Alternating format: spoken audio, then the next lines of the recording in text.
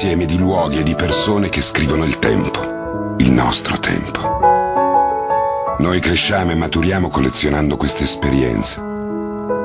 Sono queste che poi vanno a definirci. Alcune sono più importanti di altre perché formano il nostro carattere. Ci insegnano la differenza tra ciò che è giusto e ciò che è sbagliato.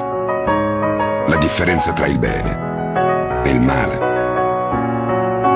Cosa essere e cosa non essere. Ci insegnano chi vogliamo diventare.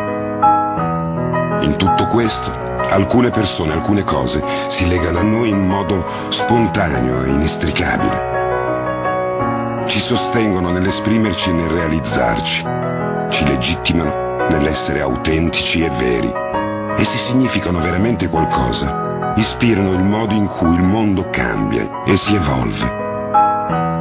E allora appartengono a tutti noi e a nessuno.